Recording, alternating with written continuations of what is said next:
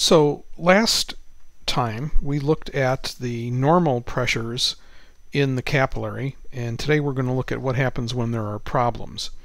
So if you remember in our last uh, visit we looked at the hydrostatic pressure on the arterial side which is forcing fluid out and the colloid osmotic pressure, which is pulling fluid in and is pretty much the same throughout the capillary.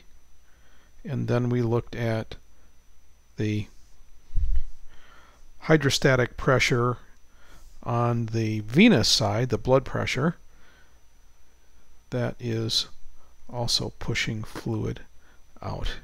Actually, that's probably a little larger than I wanted to draw, so let's back off on that a little bit.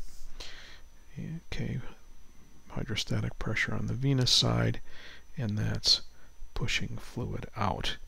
And we discovered that if you sum up these pressures, so you have a pressure that's pushing out, the hydrostatic pressure, due to the force of contraction of the left ventricle. The colloid osmotic pressure is pulling fluid in, and because the hydrostatic pressure is larger than the colloid osmotic pressure, the net force is going to push fluid out of the capillary on this side. Over here, the colloid osmotic pressure is greater than the hydrostatic pressure on the venous end, so it's going to pull fluid back in on this side. But let's now think about what might happen if the uh, if the individual had a problem with uh, heart failure. So in heart failure, what's going to happen is that the uh, hydrostatic pressure is going to be increased here. So in heart failure,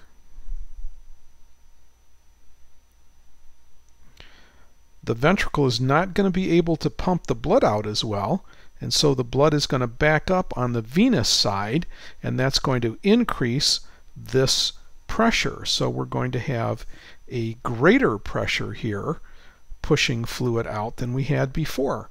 And now, if you sum up the colloid osmotic pressure and the hydrostatic pressure on the venous end, you're going to have a lot less fluid coming in, and you might even have a net outflow of fluid from the venous end of the capillary. And that's going to put extra fluid into the uh, tissue space, and we call that, when that happens, we call that edema.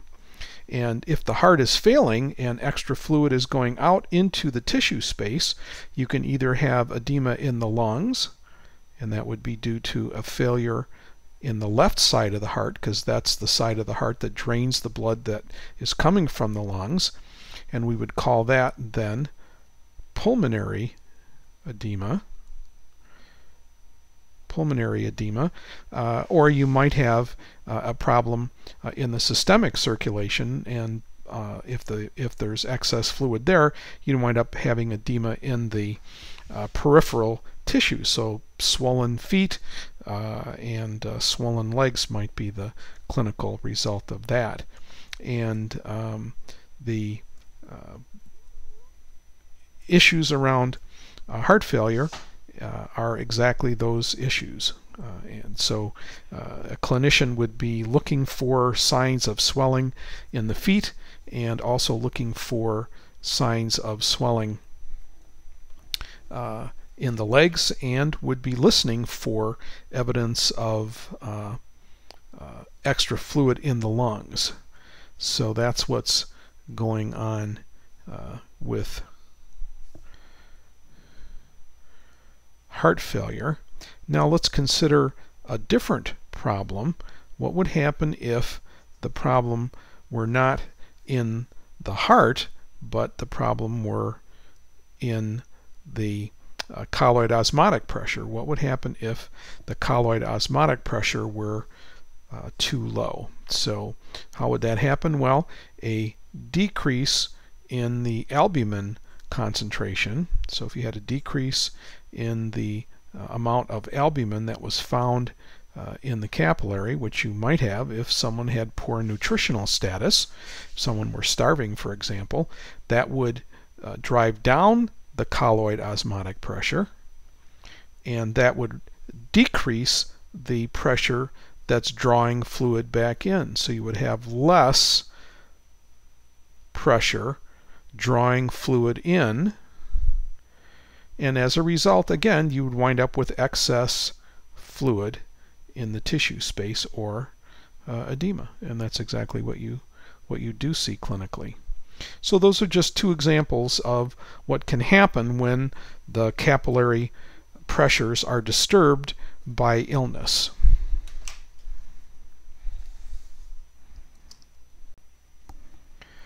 Let's look at the special case of inflammation. And if you remember from our uh, previous discussions, you have a force that's pushing fluid out on the arterial side. That's the pressure, the hydrostatic pressure on the arterial side. And you have a force that's pushing out on the venous side, and that's the hydrostatic pressure on the venous side. And this force, the hydrostatic pressure on the arterial side is larger. There's, there's a greater force pushing out on the arterial side than there is on the venous side. And we also uh, talked about the colloid osmotic pressure, which is a pressure that's coming from uh, albumin,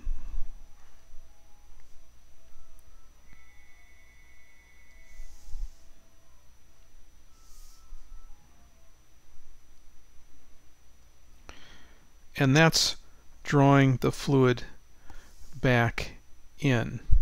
But here's the thing. Uh, in inflammation,